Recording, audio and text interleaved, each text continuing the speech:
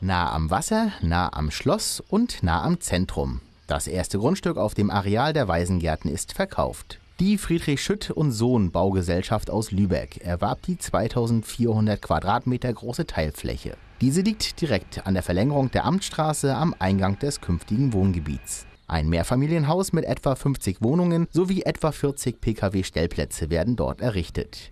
Nachdem Fähr- und Entsorgungsleitungen verlegt und erste Baustraßen angelegt worden sind, kann der Hochbau beginnen, wahrscheinlich im Frühjahr 2014. Auch ein weiterer Vertrag mit einem anderen Investor ist in Vorbereitung